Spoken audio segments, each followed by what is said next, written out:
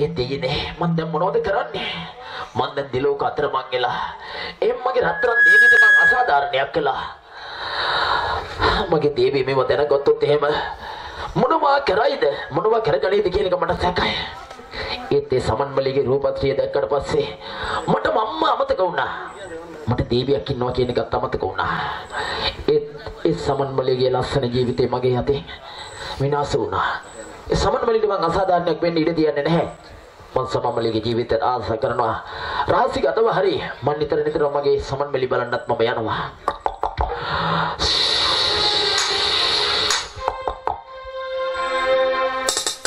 මගේ ආදරවන්ත ස්වාමීනි ඔබතුමාට වෙන්න මගේ නමස්කාරය.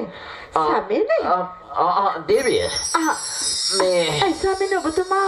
ඔබතුමා අසනීපින්ද නෑ මේ මොනවත් අසනීපයක් නෑ දේවිය එසේනම් ඔබතුමා මම මේ වී සංචාරයේ ගිහිලා දැන් රාජමාලිගාවට සැමත් වුණා පමණයි ආ ආ ඔබතුමා හරිම වෙහෙසක් වගේ. ටිකක් වෙහෙසක් වගේ දැනෙන ඒ නිසා දේවිය මම මදක් විගමන් හල්ලා මං ඇතුල් මාලිගාවට එන්න. අනේ ඔබ මේ ගිහිලා විවේක ගන්න මොකද ඔබ මහන්සියෙන් ඕන කාලවක වුණොත් නෙමෙයි නීන්නේ. ඒ වුණාට මට ලොකු වෙනසක් දැනෙනවා ස්වාමීනි මොකද්ද වෙනස ඔබතුමා ඊයේ වී සංචාරය කරන්න ගියාට පසු. ඒ ආව වෙලේ ඉඳන් ඔබතුමා මා සමග කිසිම කතාවක් කරන්නේ නැහැ නෑ. ඔබ දෙක විඳවන්න බැහැ ස්වාමීනි නෑ නෑ දේවී ඒ මේ ඔබත් සමග තියෙන අමනාපයකට නෙමෙයි. අනේ වුණාට ස්වාමීනි මම මේ රාජ්‍ය සියසුම දරාගෙන මේ රාජමාලිගාවේ ඉන්න කාල සීමාව තුළ මම මේ අයෝධ්‍යාපුරවර වීර සංචාරයක් ගියේ නෑනේ. අනේ අනේ ගිහිල්ලා ගම් වලට ගොඩ වැදුනට පස්සේ ගම් වල මිනිස්සු විඳින වේදනාව දුක් කංකඩුළු අනන්තයි අප්‍රමාණයි. පසකින් ජලය නෑ. පසකින් ආහාර පාන නෑ. ලෙඩ දුක්. ඒ වගේ වසංගත රෝග. ඒව ගැන කල්පනා කරනකොට දේවිය මට ඇත්තටම මේ කුමක්ද කරන්න කියලා ඒ නිසා මම මේ කල්පනා කරලා තීරයක් ගන්නකම් ස්වාමීනි. මට මද කල්පනා කරන්න ඉඩ දීලා අතුල් මාලිගාවට යන්නකෝ. ස්වාමීනි මම අතු මාලිකාවට යන්නම් ඊටත් එහා වෙච්ච වෙනසක් මට ඔබතුමාගෙන් දැනෙනවා ස්වාමීනි ඔබතුමා. මේ රාජ්‍යයේ මේ අහිංසක රටවැසියන්ගේ ඔය හැම දුකක්ම ඔබතුමා හැමදාම විඳ දරා ගන්නවා. ඔබතුමා හැමදාම විශ්වාසය යරන්න ඒ ස්වාමීනි කවදාවත් නැති වෙනසක් ඔබතුමාගේ මට දැනෙනවා ස්වාමීනි? දේවිනාංශ දේවිනාංශ මේ ආන්න කලබල වෙන්න එපා. මට අසනීපයක් නැහැ මොනවත් නැහැ මම මේ ප්‍රශ්න වලට උත්තර හොයන්නේ කොහෙන්ද කියලා කල්පනා කරන්නේ. ඒකින්ද කරුණා කරලා මට බාධා කරන අතුරු මාලිගාවට ගිහිල්ලා විවේක ගන්න මම ඇවිල්ලා වෙච්ච හැම දෙයක්ම කියන්න ස්වාමීනි අප දෙදෙනා විවාහ වෙලා වසර ගණනාවක් වෙනවා. වසර ගණනාවක් දරුවෙක් නැතුව හිටියා. ඒත් ඔබතුමා මට මේ විදිහට කතා කරලා නැහැ ස්වාමීනි. ඔබතුමාගේ මේ වෙනස මම දැකලා නැහැ ස්වාමීනි. හරි හරි හරි හරි හරි හරි. හරි මගේ කේන්ති මම පාලනය කරගන්නම්කෝ. දැන් මට මගේ පාඩුවේ ඉඳ දීලා වදයක් නොවි යන්නකෝ. දේවිනාංශ අතුරු මාලිගාවට යන්නකෝ. ස්වාමීනි. මොනවා හරි ප්‍රශ්නයක් ඇති වෙලා තියෙනවා. ඒ ප්‍රශ්නේ මම කල්පනා කරලා ඒකට විසඳුමක් ගන්නකම් මට බාධා නොකර අතුවට යන්න. ස්වාමීනි ඔබතුමාට දැන් මම වදයක්ද මම ඔබතුමාගේ අක්‍රම හේසිකාරිය ඒ විනාශ ඔබතුමියම ඒ විදිහට මට අවිල්ලා කරදර කරනකොට මම හිතන දේවල් නෙමෙයි මගේ මොයෙන් පිට වෙන්නේ. ඒ නිසා මාව මාව නොමනා තත්යකට පත් කරගන්න නැතුව කරුණා කරලා කරුණා කරලා ආ පාර යන්න අතුල් මාලිගාවට. ඔබතුමා ඊයේ දවසේ ඉඳන් මේ මොහොත දක්වා ඔය විදිහමයි. ඔබතුමා මා සමග ආහාරල් මම කරන්න ආවේ නැහැ. මා සමග සයනා කර සතු පෙන්න ආවේ නැහැ. මා සමග වචනයක්වත් කතා කරන්නේ නැහැ. මේක මට ඉස්සලා දෙයක්. මට දැනගන්න ඕන ආ? මොනවා? උඹට නෙමෙයි ඉස්සරහදී නම් මට ඉස්සරහ දෙයක් කළා තියන්නේ. උඹට තියෙන ආදරේ කරුණාව දයාව අනුකම්පාව සැනේ අත ඉඳ මම මෙච්චරලා ආදරෙන් කිව්ව කරුණා කරලා මට මගේ පාඩුව එන්න දීලා අතුල් මාලිගාවට යන්න කියලා. නැහැ. ඒත් උඹ එන්නේ නැතිල අංගේ පටලු කූඩෙල්ලක් වගේ මට වද දෙනවා.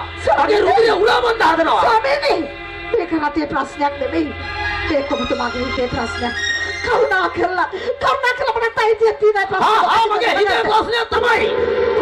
ඒ ප්‍රශ්නේ මොකද්ද කියලා උඹට වැඩක් නැහැ. මං කියලා දී ගිහිල්ලා කරපන් අතුල් මාලිගාවට ඵලයන්ට දී බලන් ගියා. ස්වාමීනි මම යන්නේ නැහැ මේ ප්‍රශ්නේ දැනගන්න කම මම යන්නේ නැහැ දෙයියෝ, ආමුදුරනේ. ස්වාමීනි මගේ කුසේ පිළිසිඳගෙන ඉන්න මේ අහිංසක දරුවා වෙනුවෙන් මට අයිතියක් තියෙනවා ප්‍රශ්නේ මොකද්ද කියලා දැනගන්න. මට පුළුවන් වුණොත් ඔබතුමාට ප්‍රශ්නේ පිළිතුරක් හොයලා දෙන්න. ඒක තමයි මම වාට කරන උදව්ව. කියන්න ස්වාමීනි මම මොකද්ද ඔබතුමාට උන වදේ කියන්න ඔබතුමාගේ හිතේ තියෙන ප්‍රශ්නේ මට කියන්න ස්වාමීනි මොකක්ද? ඒ ආන්න දේවි ඒ ප්‍රශ්නේ ඔබට කියලා ඔබට විසඳුමක් ගන්න බෑ. ඒකට පිළිතුරු ඔබ ගාව නෑ. ඒකට පිළිතුර මම හොයාගන්න කාරණේ උනේ මටයි. ඒක නිසා කරුණා කරලා ඒක ඔබට දැනගන්න අවශ්‍යතාවයක් නෑ. ඒ ප්‍රශ්නේ මම විසඳ ගන්න. ඒ ප්‍රශ්නේ අගමුල මොකද්ද කියලා මම ඔබට නිමාඩුව කියලා දෙන්න. ඒක හින්දා වදයක් වෙන්න එපා. ඵලයක් මෙතනින් කරුණා කරලා ඵලයක්. ඔබට මම ගොඩක් ආදරෙන් කියන්නේ මාව යක්ෂේ කරුණා කරගන්න නැතුව ඵලයක් මෙතනින්.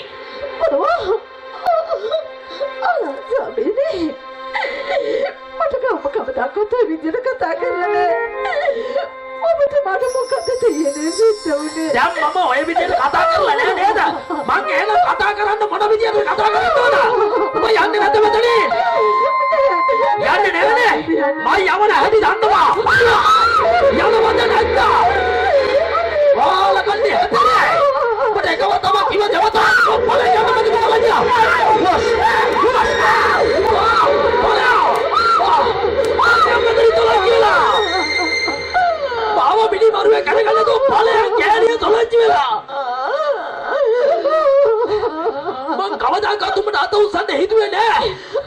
මම කිව්වනේ මාව පිස්සේ කරන්න එපා කියලා.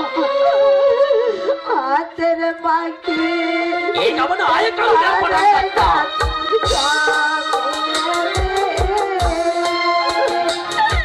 අයියෝ වෙච්ච කරුණා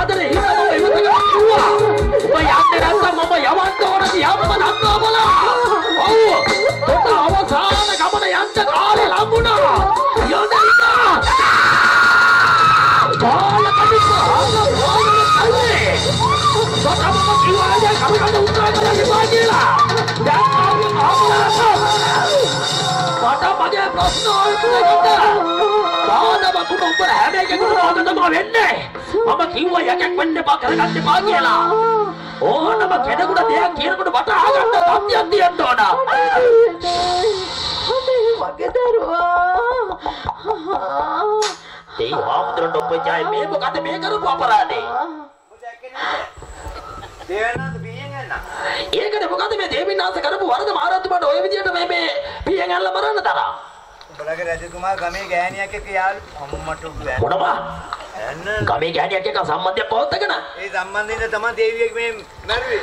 ඕකනේ කියන්නේ තමන්ගේ බෙරිඳ ඉතින් තවත් අනියම් සම්බන්ධයක් පවත්ත ගත්තොත් එක්කෝ මිනිහගේ ජීවිතේ ඉවරයි නැත්නම් ගෑණිගේ ජීවිතේ ඉවරයි. ඕකනේ කියන්නේ. දැන් මොකද කරන්නේ? අඬනෝ. අනික බලන්න කල්පනා කරලා මාතේරාධිපතිතුමා මේ දේවින්නාන්සේගේ කුසේ දරුවෙක් ලැබෙන්න ඒකනේ. ඕකට හොඳක් නෑ එනක. මේ කට කට වහගෙන ඉඳපන් ඕක ඇහුනොත් එම උඹත් මල්ලා ඩායි හැබැයි උල තියයිනේ. දැන් ඇත්තටම මේ මොකද්ද දැන් කරන්න කියලා හිතා ගන්න බැරුව මට මොකද්ද මේ රාජදේවියට අපි කරන්නේ මොකද්ද මේ රටේ රටවැසියන්ද කියන්නේ ඊට කියන්නේ පියෙන් දේවනාථ පියෙන් යන්න කියනවා. එතකොට නම් උල තියනවා. උල තියන්නේ ටික ටික බහින්න. දැන් කොයි මහරජතුමා යන නගියේ කොහටද ගියේ දේවනාථ නැගිටි. ආ නැගිටි. යකෝ මැරිච්ච කෙනෙක් කොහොමද නැගිටින්නේ ඒක තේරෙන්නේ නැද්ද ඒ ගමන පටන් ගත්තා මෙතන යකෝ හක්කපනි මං අදන්නේ මේ දේවිය මැරුණාට නෙමෙයි. එහෙනම් ගෙනියන්නේ කොහොමද කියලා. දකින් විතර අනේ. මාතේනදපතුමා අපි සතුටු වෙන්න කාලයක් නෙමෙයි මේ බලන්න ඇත්තටම මේ රාජමාතාව මොනතරම් අපිට ආදරේද සේවකෙක් විදිහට නෙමෙයි මේ රාජමාතාව අපිට ගරු කළේ සැලකුවේ ඕනම ප්‍රශ්නයක් ගාගෙන විසඳ ගන්න පුළුවන්. ඔව් ඔය ප්‍රශ්නේ විසඳන්නේ පීයෙන් යනලා තමයි. ඇත්ත එක්කොන් යන් කිවර නැගිටිනවා නේද? මාතේනදපතුමා මම ගිහිල්ලා රාජපුරුෂයන් දැස් කළා ම- රාජමාතාවගේ දේහය භූමදාන කටයුතු කරන්න අවශ්‍ය කටයුතු සියල්ලක්ම සූදානම් කරන්න ඔබතුමා මේ දේහෙත් රැගෙන එන්න ඇතුළු මාලිගාවට මං පෙට්ටි කඩේට ගිහිල්ලා.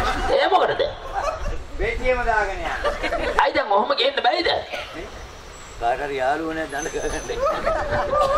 මේක බයි. ඉන්නවද අඳුරන කවුරුවා මේ ඔය දේවිට අත ගන්න කොච්චර වැඩ එන්නකො කැමති කෙනෙක් ඉන්නව උත්තන්න. ආ බලාගෙන ඉන්න. අපි දෙන්න උත්තම්. ඕම් උත්තර බලන්න පුවාට පස්සේ ආය අරන් යයි. පව් අහිංසක රාජමාතාව ආනා. මොකද වෙලා තියෙන්නේ අල්ලපා අල්ලන්න බැරි ඉඳන් යනවා. දුකට නෙමෙයි දනන්නේ දුකට හරිනේ මේ බරයිද? රාජ ගෞරව හේතේ රාජ මාතාවගේ දේහය අවසන් කටයුතු කරන්න සියලුම කටයුතු සූදානම් කරන්න ඕන.